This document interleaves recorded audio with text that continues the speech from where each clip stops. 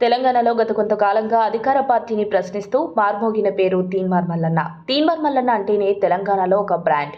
అధికార పార్టీని ముప్పు తిప్పలు పెట్టడంలో ఆయన సిద్ధహస్తుడు. ఆయనకు రాజకీయాలు పెద్దగా తెలియదు కానీ అధికార పార్టీ ఏ తప్పు చేసినా వెంటనే రేవంత్ స్టైల్లో మల్లన్న రియాక్ట్ అవుతూ నిలదీస్తారు. తెలంగాణ ప్రజల పక్షాన మల్లన్న కొట్లాడతాడు. తెలంగాణ ప్రజలను అధికార పార్టీ ఎలా మోసం చేస్తుందో ప్రజలకు కళ్ళకు కట్టినట్టు వివరిస్తారు. అందుకే తీన్మార్ మల్లన్న అలియాస్ చింతపండు నవీన్ కుమార్ గురించి ప్రత్యేకంగా చెప్పుకోవాల్సిన అవసరం లేదు. అందుకే తీన్మార్ మల్లన్న అంటే తెలంగాణ ప్రజలకు గౌరవం. దాన్ని రాజకీయ పార్టీలు క్యాష్ చేసుకోవాలని చూస్తున్నారు. అసలే తెలంగాణలో ఎన్నికలు జరగనున్న సందర్భంలో కాంగ్రెస్ పార్టీ తీన్మార్ మల్లన్నకు బలవేస్తోంది.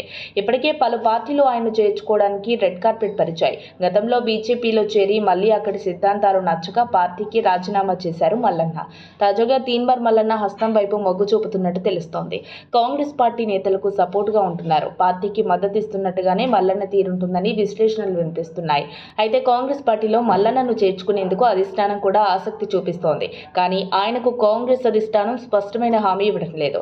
యూత్కి స్ఫూర్తిగా ఉన్న మల్లన్న పార్టీలోకి వస్తే అది చాలా ప్లస్ అవుతుందని కాంగ్రెస్ హైకమాండ్ భావిస్తున్నట్లు తెలియవచ్చింది.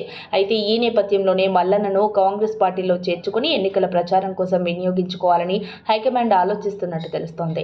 మల్లన్న ఎమ్మెల్యే టికెట్ ఆశిస్తున్నారు. దానిపై కాంగ్రెస్ అధిష్టానం ఖచ్చితమైన హామీ ఇస్తే వెంటనే ఆయన పార్టీలో చేరేందుకు సిద్ధమవుతున్నట్లు తెలుస్తోంది.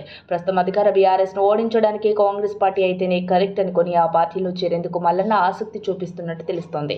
సో తీన్మర్ మల్లన్న పోటీపై హస్తం ఆయనకు ఎలాంటి హామీ ఇస్తుందో హ్యాండ్ ఇస్తుందో చూడాల్సిందే. మరిన్ని అప్డేట్స్ కోసం మా కాయ్ టీవీని సబ్స్క్రైబ్ చేసుకోండి. మా వీడియో కనుక మీకు నచ్చినట్లయితే లైక్ చేయండి షేర్ చేయండి. మీ విలువైన అభిప్రాయాలను కామెంట్ బాక్స్లో తెలియజేయండి.